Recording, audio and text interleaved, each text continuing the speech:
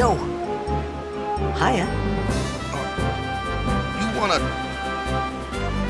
try that move one more time? Finally. Things were starting to look up.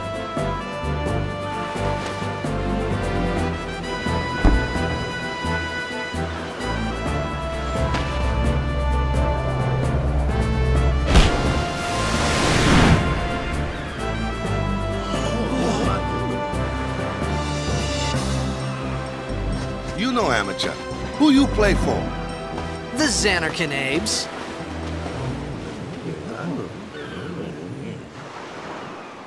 What team you say again? I meant, forget that. Uh, I got too uh, close to Sin, and my head's all foggy like. So, uh, I don't know where this place is, or even where I came from. Sin's toxin got to you. But you're still alive. Praise be to Yevon.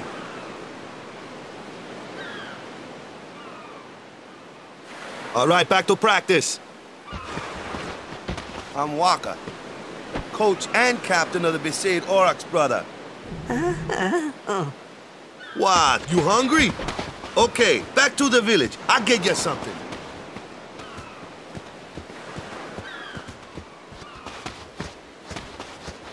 I felt like I could trust this Wakka, so I just had to ask. Um, it's true Zanarkand was destroyed, right? A thousand years ago? So it's just a big pile of rubble now, isn't it? Long time ago, there were a whole lot of cities in Spira. Big cities with machina, machines to run them. People played all day and let the machina do the work. And then, well, take a look. Sin came and destroyed the machina cities. And Zanarkand along with him. Yeah, that was about a thousand years ago. Just like you said. If you ask me, sin's our punishment for letting things get out of hand.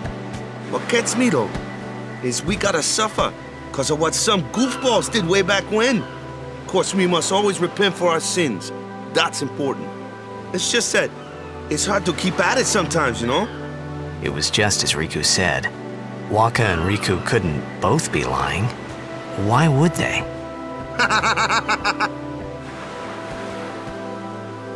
But you from the Zanarkand Abes, that was a good one, huh? Hey, I'm not saying that team never existed, yeah? but you gotta figure, a team living in luxury like that be pretty soft, eh? I appreciated the fact that Wakka was trying to cheer me up. But at that time, all I could think about was everything that happened to me. All this started with Sin. Maybe if I could find Sin one more time, I could go home. For now, I just live life until that time came. No more worrying about where or when I was. Sure, it was hard not to think of home, but I started to feel better already. A little better, maybe.